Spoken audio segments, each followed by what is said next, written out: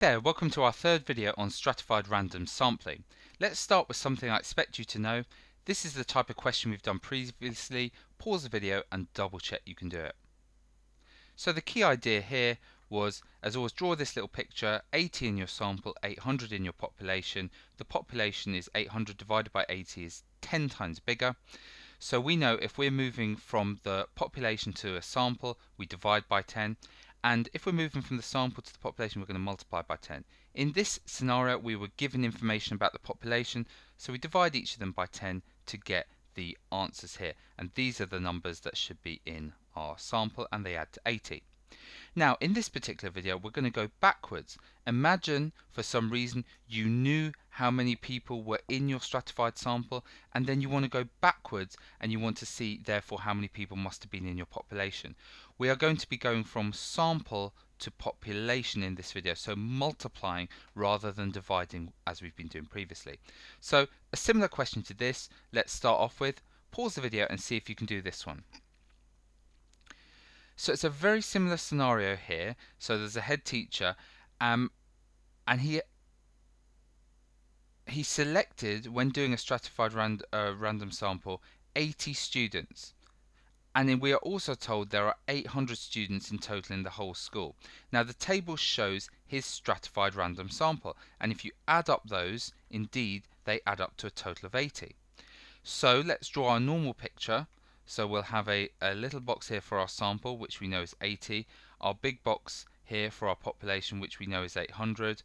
If we do 800 divided by 80, it tells us that the population is 10 times bigger. So when going from sample to population, you multiply by 10. When going from population to sample, you divide by 10.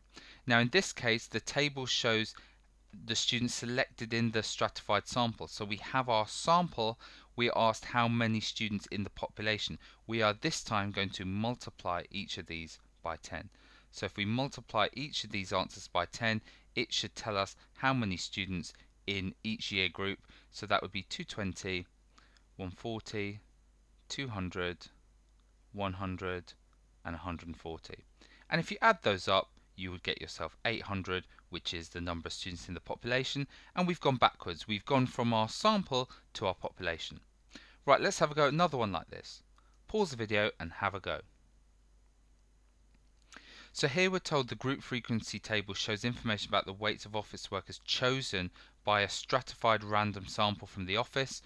Uh, we are told there are 320 people in total that work in the office. We are asked to find the number of office workers who um, are in the weight range 55 to 60 so we're interested in this one here. So what information do we need well we've got the total population. We need to know how many in our sample in total. So the first thing you do is you add these up and you see that you've got a total of 20 in your sample. Then we're going to draw a little picture. Our sample has 20 in it. We are told in the question our population has 320 in it. If we do 320 divided by 20 we get ourselves 16.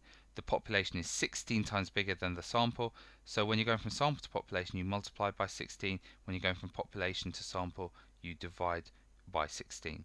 Now in this case, this is the information about the people who are in the um, stratified sample. So each of these we must multiply by 16 to get how many people are in the population of those categories. If we multiply each of these by 16, you get yourself 32, you get yourself 96, you get yourself um, 112,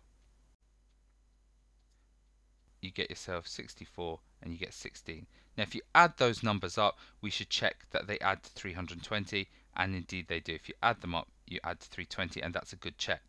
Now that wasn't the question, remember, the question says how many in the range 55 to 60. So we're looking along here and we have identified that there are 112 people. So we state 112 people in range 55 less than or equal to W less than 60 and we're done. Okay next one pause the video have a go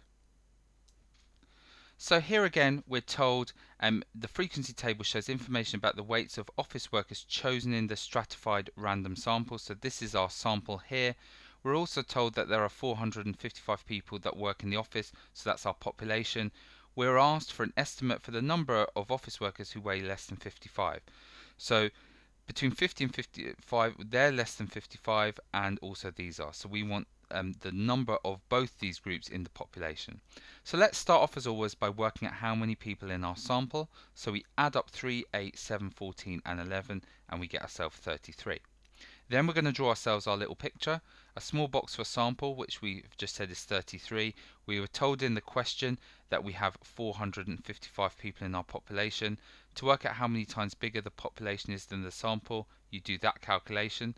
Let's get our calculator out and see what we're told. So 455 over 33 the calculator doesn't simplify it for us. So we're just going to work with fractions to go from the sample to the population. You therefore multiply by 455 over 33 and if you were going backwards you would divide by 455 over 33 in this case we've got information about the sample and we want to find out how many people in the population. So each of these we're going to multiply by 455 over 33 now I'm going to do it for each of them so I've got um, how many in each of these categories and then I'm going to answer the question afterwards. So I'll just do that on the calculator now.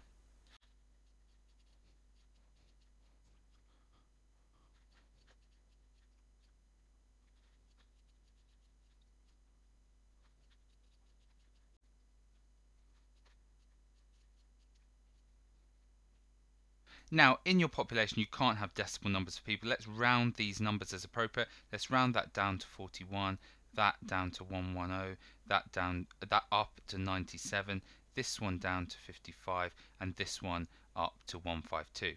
But just before we go on, we need to double check they add up to the number of people in the population 455 to check we did the rounding correctly. So 41 add 110, add 97, add 55, add 152. We're hoping this is 455. Indeed it is 455.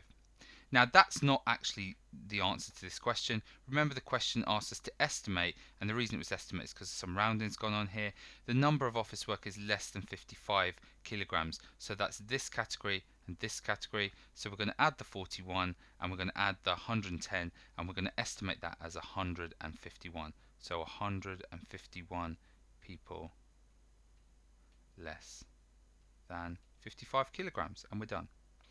And that's it for this particular video. Thanks loads for watching.